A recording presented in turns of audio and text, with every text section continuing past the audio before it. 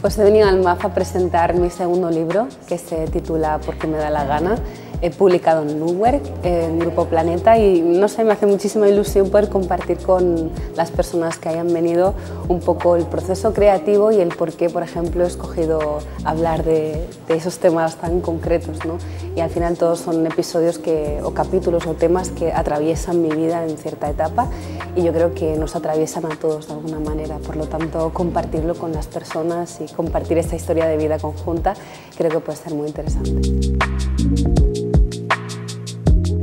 Está bastante vinculado ¿no? el arte musical con, el, con, la literatura, porque al final para hacer música también tienes que escribir y, pensar y reflexionar ¿no? qué es lo que quieres compartir a través de esas letras musicales, por lo tanto tienen mucha, mucha cosa en común, pero sí que es cierto que escribir una canción es mucho más sencilla, tiene un término de, de, inicio y de fin, ¿no? Escribir un libro y dices, es que se me queda como muy corto porque querría explicar muchísimas cosas más, pero tienes unas páginas limitadas también y hay cosas que también dudas si compartirlas o no, porque ya son como tan íntimas, ¿no? Que incluso sientes, te sientes como vulnerable a la hora de compartir, que me ha pasado, de hecho, en este libro.